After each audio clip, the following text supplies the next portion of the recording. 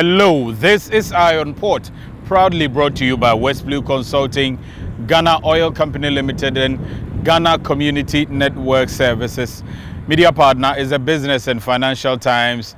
And people, this week we're taking you all the way to Bamako in Mali because that's where the seventh uh, annual conference of the Borderless Alliance uh, took place in the past week. And, you know, stakeholders gathered to deliberate on how to improve the transit trade, for instance, and also ensure a very smooth corridor where transit goods can be carted to the uh, landlocked countries. A number of issues came up. Take a listen.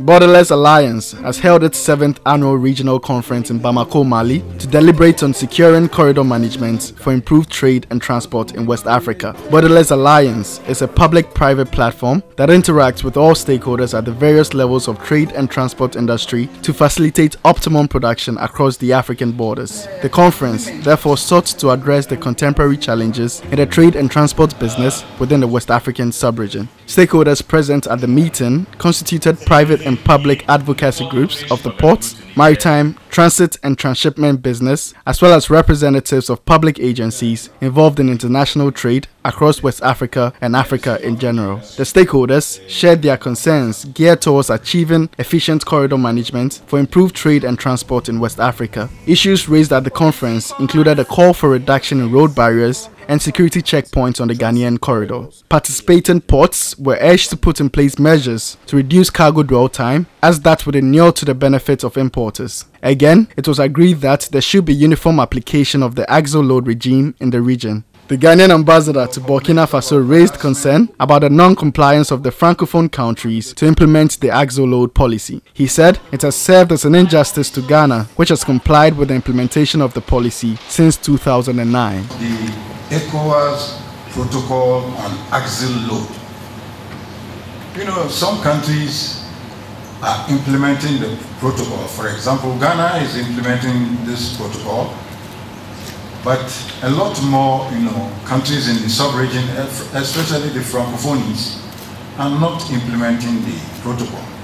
And it's detrimental to those who are implementing the protocol because the uh, you know operators are running away from our routes to the other other routes where the, the protocol is not being implemented. Recommendations made at the conference were that there should be a single insurance document to provide insurance cover for truck drivers operating along the corridor. Actors should be sensitized on their obligations and rights to avoid unnecessary harassment along the corridor. There should be harmonized procedures along the borders and also create awareness among public servants along the borders. Other recommendations included encouraging governments to intensify the creation of infrastructure like roads, rail, warehousing, etc., to facilitate trade in the region, emulate best practices of the Northern Corridor by establishing freight truck parks attached with well centers at strategic locations along the corridors for corridor users, and collaboration among custom officials with efficient communication modes in countries in the region to facilitate trade and movement of goods. The Borderless Conference was highly patronized by Ghana as a country pivotal to the transit trade in the West African sub-region. Representatives from the Ghana Ports and Harbors Authority, Ghana Shippers Authority contributed to optimizing the transit trade.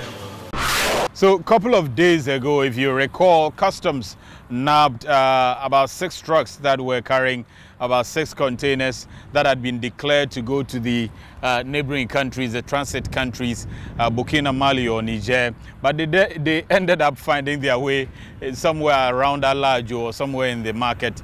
And uh, it's not a good thing. Those challenges came up at the Borderless Conference. The Ghana's or national guarantor for securing the nation's revenue on the corridor is supposed to be state insurance company SIC. Eye on Port engaged them on the sidelines of the conference. ECOWAS in 1982 brought up a protocol that says every country should appoint one institution to serve as a guarantor for the country. In Ghana, the government of Ghana appointed State Insurance Company SIC as a guarantor. The work of the national guarantor is to serve as security to the GRA against the loss of revenue for all cargo passing through Ghana to the neighboring countries. The work of a national guarantor is to provide a form of guarantee against any loss against loss of revenue to the state. What it means is that customs of the country in which the goods are passing through are not expected to charge duties on them. And for them to be able to ensure that they don't lose out in terms of the goods finding their way into the market, which is not supposed to be, they grant exemptions to the transitors. And in granting that exemption, somebody must state or guarantee customs that you will not lose these uh, duties and taxes. And if you lose them, I am there to support. Speaking to Eye on Port on the sidelines of a Borderless Alliance conference in Mali, representatives of the SIC said the role of the national guarantor has been bedeviled with some challenges. The SIC representatives bemoaned instances where goods meant for the transit market ended up on the Ghanaian market. In doing the work with um, customs, Usually, the monitoring is done by all the uh, stakeholders, including SIC. If it is found in Ghana, if they are arrested, they didn't find their way into the market. All right. But in any case, customs still works with SIC. If custom loses the duties on those, they were not able to find those uh, goods, they were sold, and the duties were not paid. SIC would have to pay and then go after the transitors. This, they said, is made possible when transit truck drivers deliberately delay on the road for the batteries of the tracking devices fixed on the trucks to go off. When drivers leave Tema Port, they have seven days to exit Ghana if they are going to Burkina Faso. I mean, when they know that there are batteries, these tracking devices uses batteries. Some of them, with the intention to divert, would have to go, you know, park somewhere. And when the batteries die down, it will be very difficult to track these vehicles. He also identified the use of fake names by importers as a major challenge to the work of the national guarantor. And we also have um, fake importers.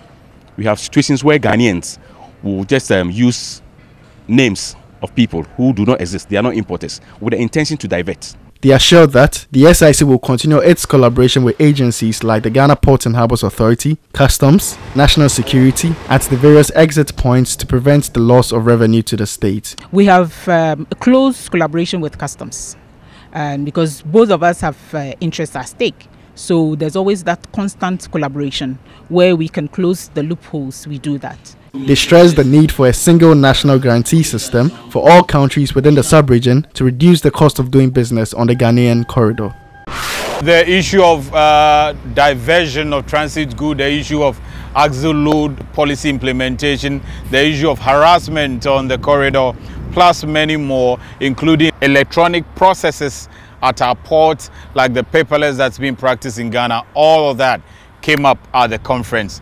But what did the Ghanaian delegation take away?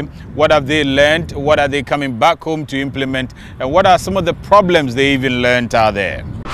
I believe that the problems along the corridors are many and I can divide them into three aspects. The first is the problems we have at the points of entries, that is the at seaports and, and airports, but I will focus mostly on seaports because that is where most of the commercial cargo come and then there are issues along the, the roads, checkpoints and what have you not. And then there will be issues uh, rega- regarding the border crossing. In Ghana, clearing procedures are a bit bulky, despite the fact that we are reforming into a paperless system. Along the corridors, we have a lot of checkpoints, lots of harassment along the corridors. And then at the border crossings, it's not as fluid as, as it has to be. We also heard that there are sections of the corridors beyond Ghana that are making trade through our ports not as conducive to business as they have to be. In Ghana, we have identified our problems, and Diaz has rightly mentioned a lot of them. And I must say that it is through this engagement with the stakeholders that we come to realize these challenges, and oftentimes we try to do something about it. I must say it is not that easy because some of these things are policy issues we have identified a lot of um, barriers along the corridor, which he rightly said. But we need to engage the appropriate authority. And sometimes it's as a result of a policy. That is why these barriers are being kept there to ensure security. However, it is important that you engage properly with the key stakeholders so that they appreciate the fact that although we need to look at security, it's still very important for us to facilitate trade. So there should indeed be a fine balance between the two. If not, we will end up making our corridor uncompetitive. Why is it so difficult, for instance, for the Ghana Shippers Authority to to push for policy implementations in Ghana because you are a state agency and we expect it to be easier for you. But we take from the Port Authority what are some of the core challenges that the Port Authority, for instance, you you have observed? Some of the challenges, like you rightly mentioned, uh, the 200 uh, dollars uh, bond they have to pay. Um, it's also a, it's a challenge which adds to the cost of doing business in our, on our corridor. Um, other challenges has to do with the a load. You know, sometimes I don't know where the problem is actually coming from. There is always that uh, discrepancy in the weight. So they get to certain points, and custom will have to go there and make sure they share the load before they cross. Uh, as I speak right now, the port authority is working hard to make sure that our axle loads and that of highway authority are on the same page. So very soon we'll be acquiring some weighing bridges to make sure that we resolve that problem of uh, different ways from the port along the corridor to the border. Um, then uh, the next issue is uh, the customs uh, uh, if you don't cross the border within a certain days, seven days, you are supposed to pay 10,000. I'm sure something will be done about that. Um, Ghana is always the first to rectify uh, agreements and try to implement it. We've bent our figures in the past when we tried to implement the axle load, I think it's 2009 or so, and we lost the trade. So this time around, we told the highways that until the other countries are ready to implement it. We will not be the first to go. We'll wait and see what they are doing before we even think about it. This is very unfair, Ziad, that uh, you advocate for this corridor and you have a situation where only one country is implementing a particular policy that's supposed to help the entire uh, uh, uh region. Why is Ghana the only champion of this? Because the country is losing then that brings us back to a regional problem beyond the, the, the, the ability of Ghana alone to champion, which is the lack of a harmonized implementation, not just of the weight regulation, but of many others. Uh, this time, we are uh, the Ghana Highway authorities uh, briefed us about their decision to go with the axle weight regulations as long as it is implemented by, by the other countries. But it appears from our from our uh, from inquiries across the region that other countries have made it clear, point blank, that they will not be implementing it. Well, we have to keep on advocating because it's the right thing to do for two reasons. The first one is that it creates an even a competition field for everybody. It's not just because we are based in Ghana, we want everyone else to implement. The axle weight law, uh, uh, regulation the regional axle weight implementation has been enacted for a reason, and that is to make sure that the infrastructure are preserved for a longer duration so that the economic activity can take place longer time, so that you can get the return on the value. Sometimes when you are in your country and you are doing your bit, you think that you are doing a lot. But when you come in here, a program like this, and you listen to what other countries are doing, then you realize that you need to up your game. From the presentations that we have listened to, some of the presentation, you can see that our competing ports like Togo and Abidjan are making efforts to reduce the number of days that the dwell time of cargo at the port. And we could praise ourselves and say, yes, we've reduced the numbers, the number of days. But when you look at what they are doing, when you compare, then you realize that indeed you have a way to go and we need to even though we are doing our best we need to intensify the efforts that we are doing and it is from these programs that you can get enough statistics enough evidence to convince the policymakers that yes this is what is happening in other places. These are the best practices. For instance the presentation on the northern corridor. You can see they have identified their corridor and they are making serious effort to facilitate trade. Coming from a transit terminal, you know, the, the trucks have 72 days to go. Most of the time, they, they, they are able to go within 72 hours. Yeah, but sometimes we have problem with the customs uh, printout. That will be about a day or two more. Sometimes it comes from the GCNet, um, their systems tracking. They will tell you the system is jammed. They are not able to put the tracking systems on the on the tracks to go. So those are the things that causes the delay. They normally go for 72 hours. Some even if they're able to finish the same day, like the door-to-door um, containers, they, they do go out within 24 hours. They are out.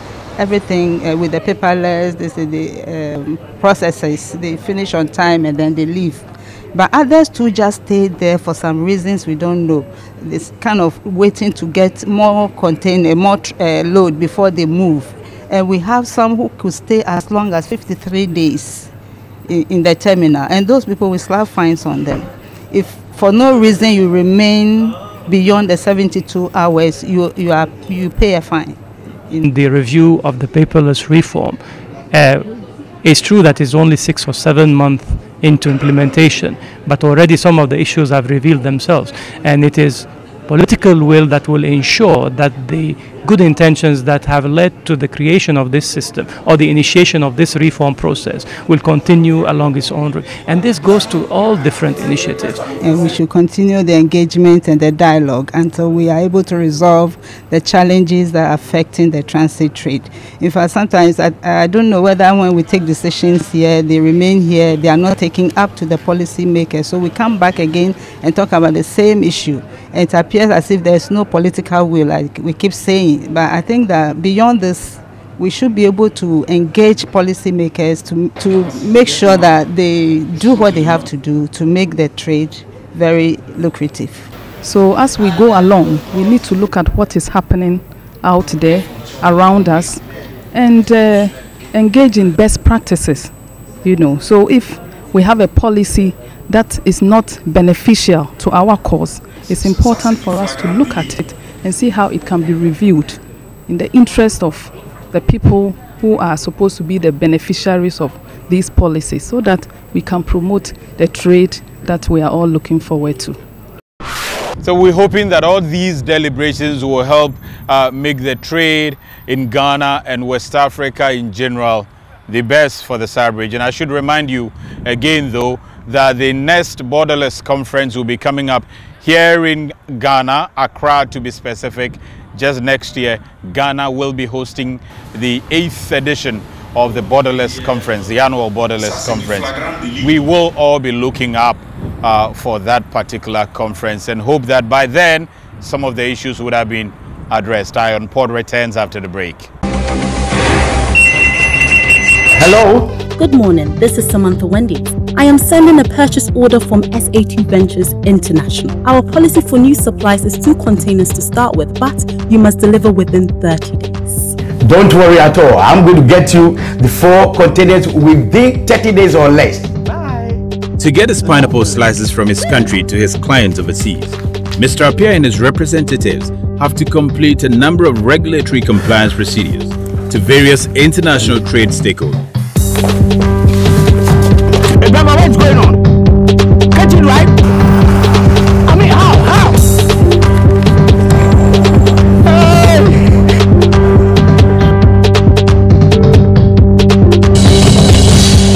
Using single window, Mr. Appiah has completed all his international trade procedures through one portal. He has registered his company information, applied for the necessary permit, certificates and licenses, and all that remains is for him to get a text alert for clearance and movement of goods. And that's how simple facilitating international trade could be in a single window environment. You can offer competitive services to your trading partners in China, America, even here in a simpler, faster, and cost effective way. Single window, the only way to Ghana's economic growth is in our hands. When cleaning your vehicle by valeting, steaming, waxing or polishing, make sure the engine is also sound. Servicing your vehicle with Goil Synthetic Oil and any quality Goil Oil massages the engine, removes deposit, protects it from wear and tear for longer lasting performance and makes your vehicle feel pampered. Made for diesel and super engines. Remember, after every 15,000 kilometers of enjoying your ride, service your engine with Goil Synthetic Oil. We're a champion. That's why I, Azumah Nelson, three times world boxing champion and a patriot, always choose Goil. Ashwini Pankasa. Goil, good energy. Welcome back from the break. Still watching Eye on Port. Next up, our local news and activities happening in and around the port and maritime industry.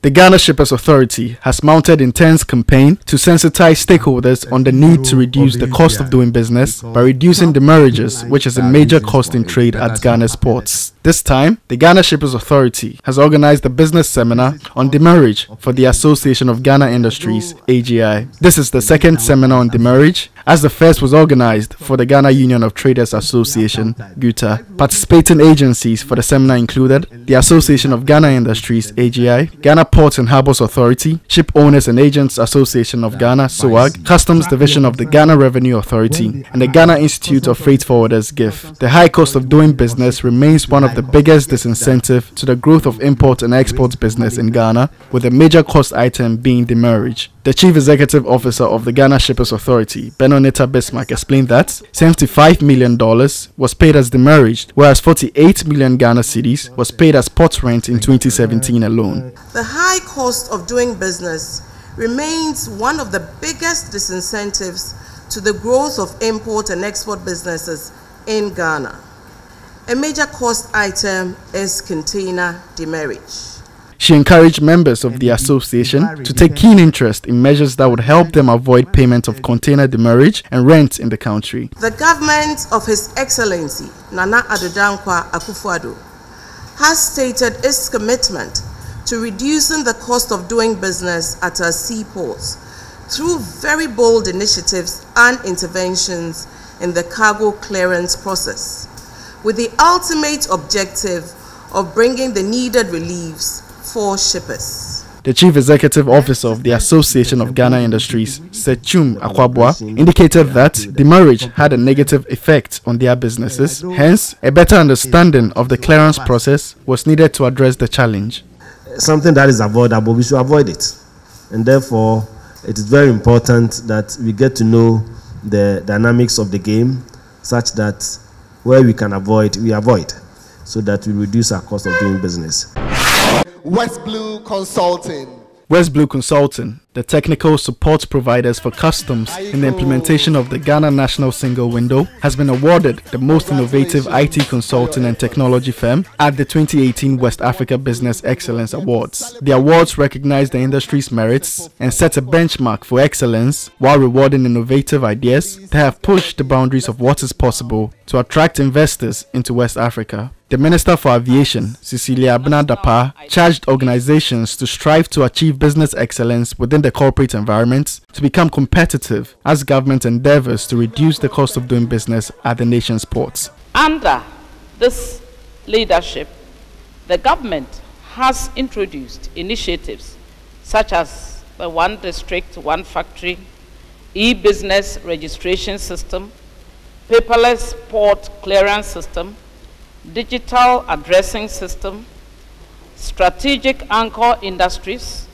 industrial parks, and the national identification system, which are aimed at creating jobs for the prosperity of our people. After receiving the award, the General Manager Operations for West Blue Consulting, Kingsley Abeye, said the company will be rolling out some products to improve trade facilitation in the country. West Blue is moving to a very higher stage, and I'm very sure in the coming months everybody will see the, the new products that we are currently developing. Yes, and I'm very sure when we start rolling them out, we will all see the stage we've got into.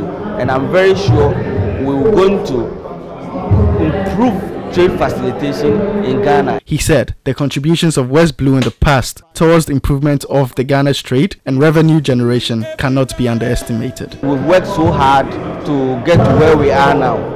And so it's no surprise that uh, the, during the, this year's West Africa Excellence Award, we've been given this prestigious award. As part of efforts to transform Ghana's ports and make it number one in Africa, a high-level delegation from various stakeholders have paid a working visit to DP World in Dubai, the company which recently took over West Blue Consulting to undertake the single window project in Ghana. The visit was to observe how Dubai's single window system operates and share ideas on how to improve trade facilitation in Ghana. The delegation on the trip were representatives from the Office of the Vice President, Ghana Ports and Harbours Authority, GPHA, Ghana Revenue Authority, Customs Division, Shipping Lines, and West Blue Consulting. Areas discussed during the visit included the scope of custom integration with manifest system, understanding current custom integration, and access limitations and solutions. The representatives also had first-hand information about proposed manifest system with standardized format, challenges, core modules for early delivery, essential add-ons for early delivery, new manifest system, future dependencies, and additional add-ons and future roadmaps. The stakeholders met with the management team of DP World and were briefed on how Dubai Customs have successfully become a robust player in the field of trade facilitation. The management team at DP World reiterated their assurances to the government of Ghana in enhancing the already started single window program and the implementation of modern custom methods such as risk management. The team from Ghana also praised DP World for giving them the opportunity to inspect their system and operations in Dubai. They urged them to expedite action to deploy their robust system in Ghana to enhance trade, boost government revenue, and reduce the cost and time of doing business in Ghana. So we say congratulations to the team West Blue for sweeping uh, those awards there and uh, also making those trips all the way to Dubai to learn a lot more to improve Ghana's trade. Next up, uh, international news, and that includes a new island that has joined the International Maritime Organization. The International Maritime Organization IMO has welcomed a new member, the Republic of Nauru. On May 14, 2018, Nauru deposited its instrument of acceptance to the IMO Convention with the United Nations Depository, becoming IMO's 174th member state. With an area of 21 square kilometers, Nauru is the world's smallest island nation with a population of just under 10,000 inhabitants. This developing country is situated northeast of Australia, some 42 kilometers south of the equator. In a separate announcement, the IMO informed that Monaco has acceded to the IMO treaty covering emissions from ship exhaust and energy efficiency. According to the latest edition of International Association of Dry Cargo Ship Owners Bulk Carrier Casualty Report, a total of 53 bulk carriers over 10,000 deadweight tonnage have been identified as total losses over the past 10 years. A staggering 202 crew members have lost their lives as consequence or on average 20 lives lost per year during the reporting period from 2008 to 2017. The highest loss of life has been attributed to cargo failure, totaling 101 lives lost or 50% of the total loss of lives resulting from 9 casualties. The most common reported cause of ship losses has been grounding, accounting for 41.5% of total losses, followed by flooding, accounting for 15.1%, and unknown causes in the cases of six ships that claimed 61 lives, among them the two casualties in 2017. The Paris Memorandum of Understanding on Port State Control, Paris MOU, unveiled its plans to focus attention on marine air pollution in the near future. This development anticipates the new maximum limits for sulfur in ships' fuel oil, which is due to enter into force on January 1, 2020. The new focus on air pollution will comprise of an information campaign in the form of a letter of warning. When cleaning your vehicle by valeting, steaming, waxing or polishing, make sure the engine is also sound. Servicing your vehicle with Goil Synthetic Oil and any quality Goil Oil massages the engine, removes deposit, protects it from wear and tear for longer lasting performance and makes your vehicle feel pampered. Made for diesel and super engines. Remember, after every 15,000 kilometers of enjoying your ride, service your engine with Goil Synthetic Oil. We're a champion. That's why I, Azumah Nelson, three times world boxing champion and a patriot, always choose Goil. Ashwini Pankasa. Goil Good Energy. So we say congratulations to the team West Blue for sweeping uh, those awards there and uh, also making those trips all the way to Dubai to learn a lot more to improve Ghana's trade. Schedules of vessels sitting in the port, those at Anchorage, those also expected in the coming week, including Fashion harbor vessels, as well as Bank of Ghana exchange rate are all next on your screens.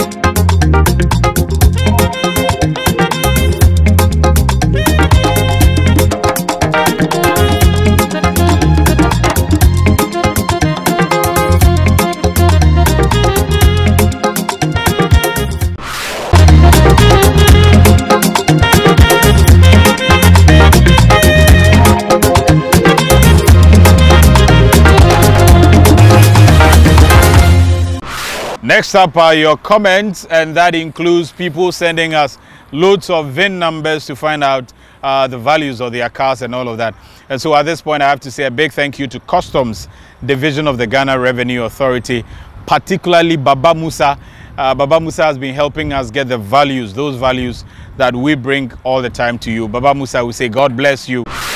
Enoch Donko says he holds a diploma in cargo handling and passed ITA air rates and marketing, therefore asking if there is any vacancy for him. Well, Enoch, there are a lot of organizations operating in the maritime industry. Kindly take advantage and submit your CV to them. And who knows, you could be giving a chance. Papa Sly says, Please, Eye on Port, I need the duty fees on the following cars. Chevrolet Cruze with the following VIN number. Chevrolet Equinox with the following VIN number. Chevrolet Traverse with the following VIN number. Chevrolet Sonic with the following VIN number. And finally, 2009 Land Rover and Range Rover Sports with the following chassis number. Papa Sly, the estimated duty for the Chevrolet Cruze is 19,600 Ghana cedis. That of the Chevrolet Equinox is 25,500 Ghana cedis. The Chevrolet Traverse is 47,900 cedis. The 2014 Chevrolet Sonic is 18,600 Ghana cedis. And the 2009 Land Rover Range Rover Sport is 77,900 Ghana cedis. Well, you also have to note, Papa Sly, that these are tentative duty values and may vary by the time you are ready to clear your cars based on factors including exchange rates and so on. That's it for this week's episode of Eye on Port. We thank you uh, for watching the program. Also, thanks to the entire crew uh, for backing up the program. And thanks particularly to Baba Musa for helping us with all the custom duties and values we disturb you with, but you're always at our service. Thank you once again, and thank you, folks,